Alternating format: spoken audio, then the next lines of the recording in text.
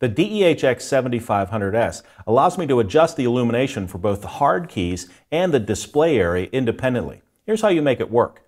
Touch in on the volume control and let's turn until we see our illumination menu. And we'll press enter.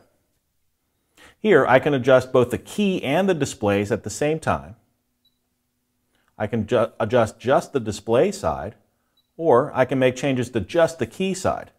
We'll press enter here and we can change the color of the keys to something a little bit different. How about a nice green color?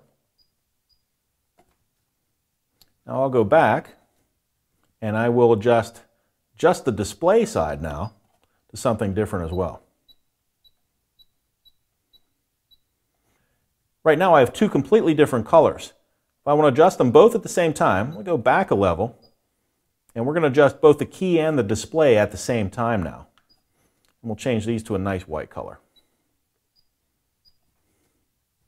If I want to make a very precise color adjustment, I'm going to go back to my key or my display side.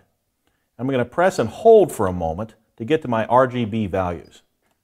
Here I have my red, green, and blue values. I can make adjustments to the reds, press enter, make an adjustment to the greens, press enter again and make adjustment to the blues.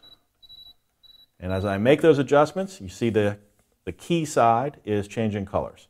When I'm done making that very precise adjustment, I can just hit the band button to escape.